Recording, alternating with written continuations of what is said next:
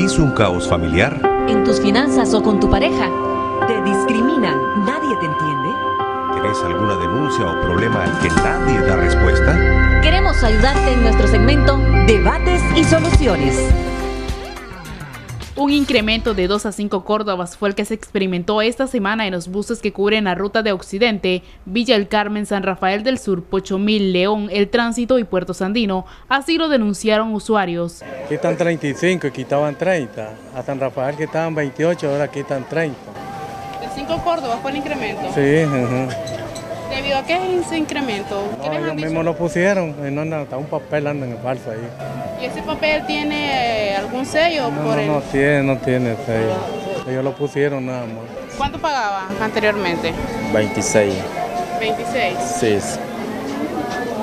Ahora paga 30 córdobas, entonces hubo un incremento de 4 córdobas. De cuatro Córdoba. Este medio quiso conocer la versión por parte de los conductores, pero evitaron referirse al tema. Y queríamos conocer...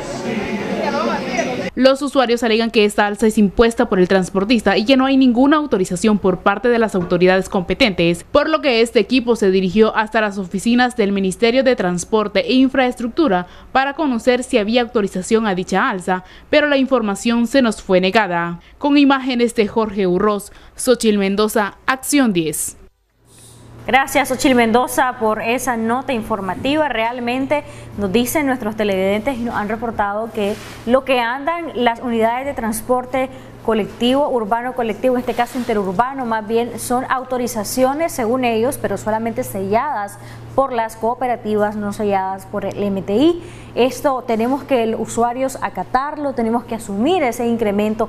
¿Qué se puede hacer realmente si el Ministerio de Transporte e Infraestructura hasta este momento no ha emitido nada oficial? Hasta donde tenemos entendido, Yelsin, hoy ya tenemos a dos invitados para hablar del tema. Efectivamente, se encuentran con nosotros Marvin Pomares y Gustavo Ortega del INDEC. Ellos van a hablar con nosotros y le damos la más cordial bienvenida.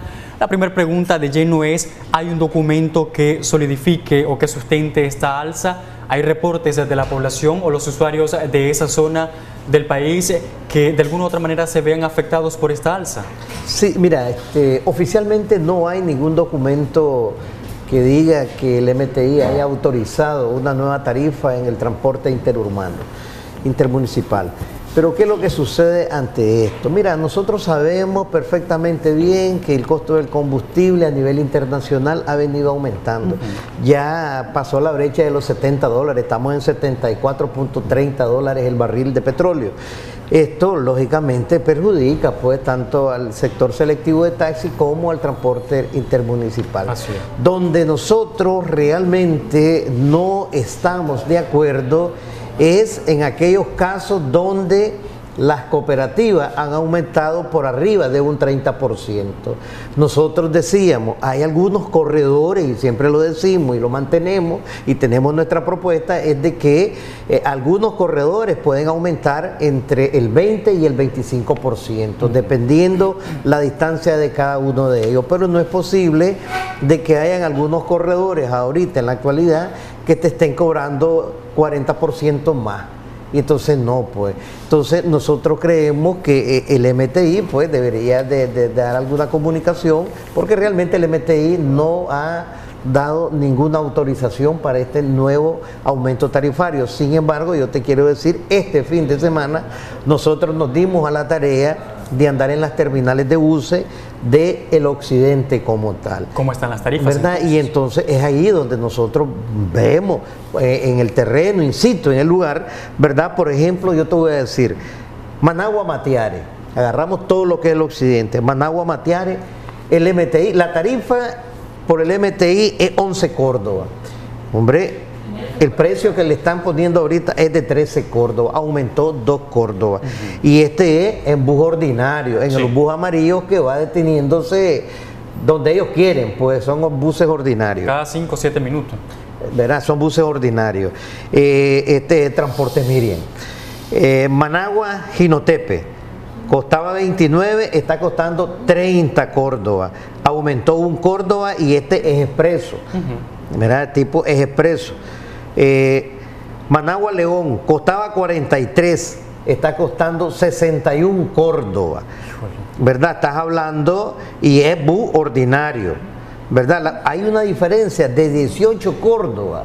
18 Córdoba es la diferencia de, que hay, o sea, lo que están cobrando de más. Managua Nagarote costaba 19, está costando 22 Córdoba, son 3 Córdoba. ¿Verdad? Estamos hablando que es un bus ordinario. Lapa Centro costaba 26, hoy está costando 30, son 4 Córdoba en bus ordinario.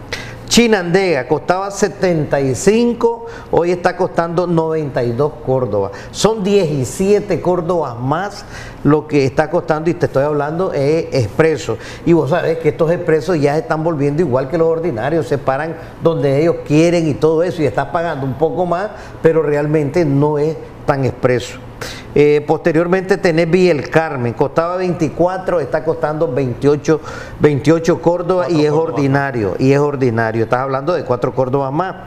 Pocho Mil, Managua Pocho Mil, eh, costaba 30 Córdoba, hoy está costando 35 Córdoba, 5 Córdobas más, y te estoy hablando que es ordinario. Managua Chinandega, 77 Córdoba, hoy está costando 100. eh, cuesta, o sea, aumentó 23 Córdoba y es expreso. Eh, tenés, por ejemplo, en, en- Managua Montetabor. Montetabor costaba 3 Córdoba, hoy cuesta 4 Córdoba, aumentó un Córdoba, es ordinario también. Managua León costaba cin- 52 Córdoba, cuesta 50 71 Córdoba, aumentó también 19 Córdoba. Ahí estás hablando que es expreso. Y el otro es Managua San Rafael del Sur, ah, como estamos viendo ahí las noticias, eh, hoy cuesta, eh, costaba 30 y cuesta 30, o sea, se ha mantenido. Este no ha aumentado y es ordinario.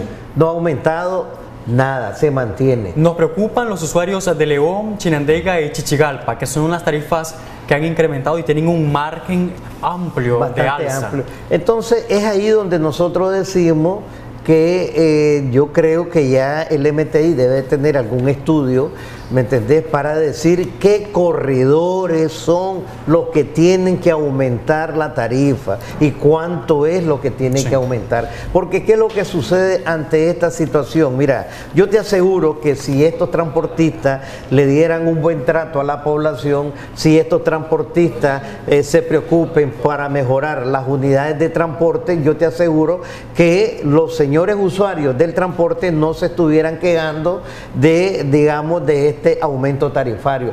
Pero como es todo lo contrario, sienten el aumento de la tarifa, sienten que lo están atendiendo mal, sienten que realmente no van en una unidad que lleve las condiciones necesarias. Entonces, ahí estamos viendo que no es solamente el aumento de la tarifa, sino todas esas cuestiones que nosotros estamos denunciando. Tenemos una llamada, buenos días. Buenos días. Sí, bienvenido, amigo televidente, gracias por llamarnos. Sí, era para más o menos informarle, ¿verdad? Que anoche que yo llegué de Rivas, en el bus de San Jorge arriba a Managua, supuestamente el pasaje vale 56 y cobraron 100 Córdoba. 56 era el valor. Eso es lo que tengo entendido en la tabla del MTI. Y cobran 100 córdobas Cobrar actualmente. 100 Córdobas de arriba a Managua. Es decir, 44 córdobas serían. No, no, 30. y- A ver, es- Casi, casi. 56 era el monto total que cobraban antes, pero una alza y ahora cobran 100 100 córdobas córdobas. más. A ver, oficialmente, o- bu- buenos días, antes que todo. Sí. Oficialmente, Managua, Riva, cuesta 72 Córdoba. Precio oficial de la tarifa autorizada por el MTI a partir del 17 de, mayo del año pasado. 72 Córdoba. 72. Y vale 100, o sea que le están cobrando 28 Córdobas de más, caballero. O sea que es incorrecto, pues, porque esta es la tarifa oficial que, que debe, esta tarifa que tengo en mis manos es la que debe regir en estos momentos en, en todo el territorio del país.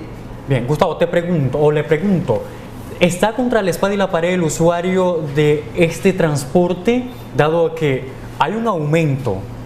Tiene que pagarlo porque tiene que transportarse, tiene un salario bastante débil o anémico.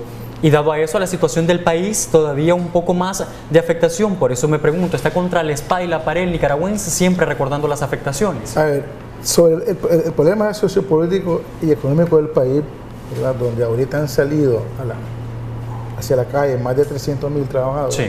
donde tenés razón, además que también el salario en el país también se mantiene estable. Sí. ¿Qué significa? Que realmente estos precios ¿verdad? que en algunos corredores están más del 30%, yo creo que es un, un tema realmente que está en contra del usuario. Nosotros estamos en contra también de esa, de esa, De alza, alza. de esa alza. Lo que tiene que haber, y ahí insistía el licenciado Pomares, es que ya debería de decir el MTI de una vez por todas cuáles son los corredores que van a subir, ¿verdad? Y cuál es el margen que va a subir. Porque no es posible, como el ejemplo que decía el caballero, de 72 a 100 Córdoba son 28 Córdoba. Imagínate que hay personas, eh, y licenciada, que viajan diario de Río a Managua a trabajar, figurate, viajan diario.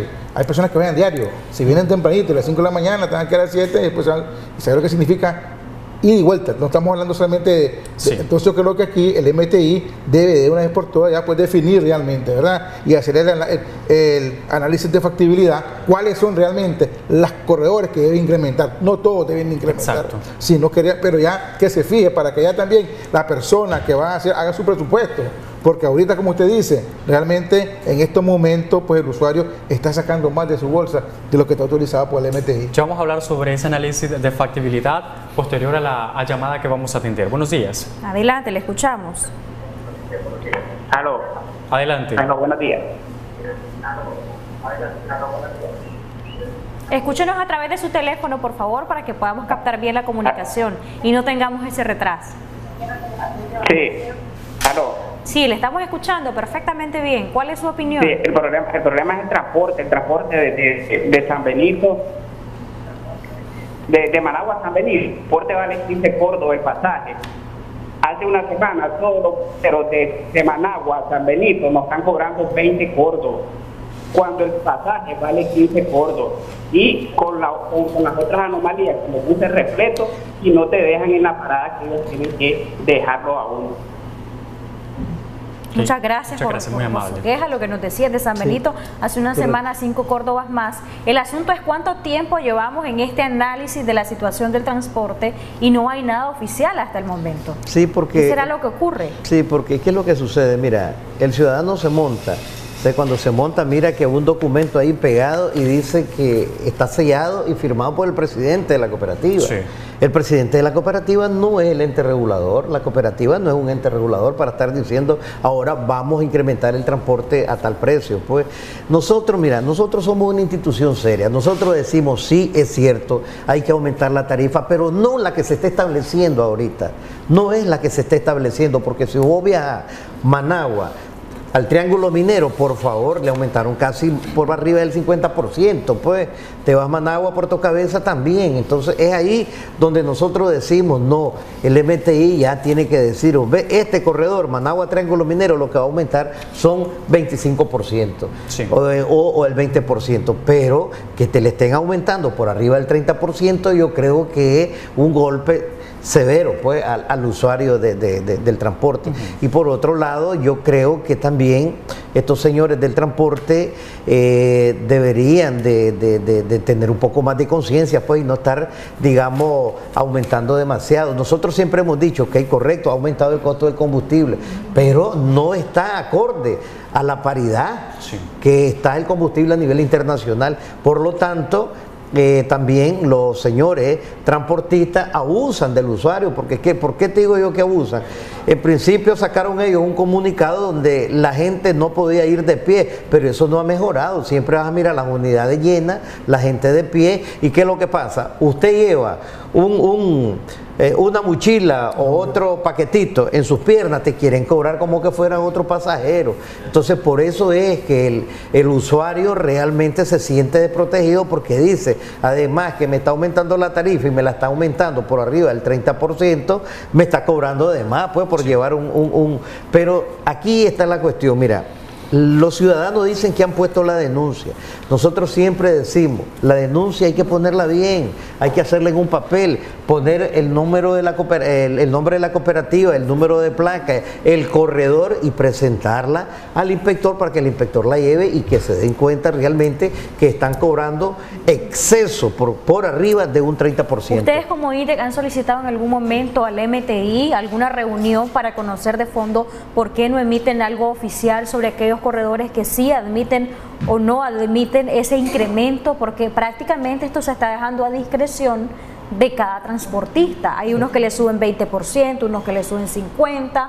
Y te cobran más y te siguen tratando mal y las quejas de los usuarios continúan. Entonces yo me pongo en el lugar de los usuarios y digo, bueno, si no hay una comunicación oficial en cuanto al incremento, menos me van a hacer caso con una denuncia.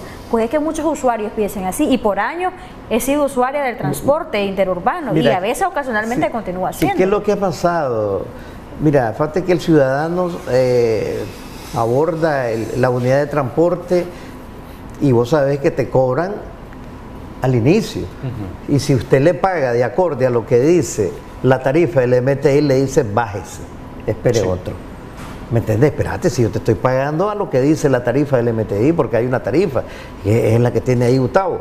¿Me entiendes? Entonces yo creo que esto debería de ordenarse. Pero no ameritan multas o sanciones a aquellos que estén cobrando lo que les dé la, gana. La ley, la ley 524 dice que hay sanciones para ese tipo de cuestiones.